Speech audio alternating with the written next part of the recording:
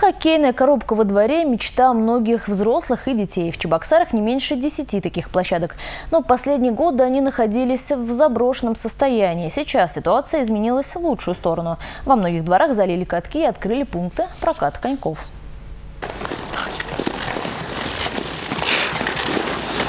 Хоккейные коробки, которые чебоксарцы уже привыкли видеть в плачевном состоянии, в этом году преобразились. Их отремонтировали, покрасили и залили лед. Вокруг площадок оборудовано освещение. Открылись пункты проката коньков.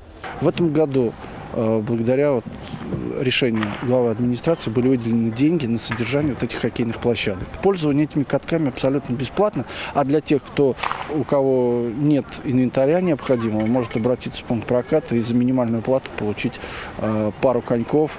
Развитие дворового спорта – одна из задач, которые ставят перед собой власти республики. В нашем регионе большой популярностью пользуется хоккей и просто катание на коньках. Зима у нас длинная, можно вдоволь накататься. Так что открытие катков для детей и их родителей стало настоящим праздником.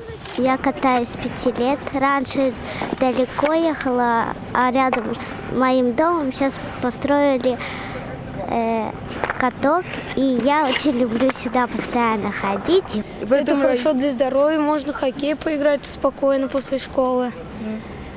Никогда вечером много народу, мы играем в хоккей. Никуда командами. ехать не надо на залив, какой-нибудь там Спартак. Пришел, тут мы живем, пришел, покатался и ушел. Вокруг катков новогоднее оформление, играет музыка. Ближе к вечеру желающих покататься становится все больше. Те, кто замерз, могут попить горячий чай. Бесплатно. В пунктах проката установлены кулеры. Марина Рябцева, Александр Петров, Республика.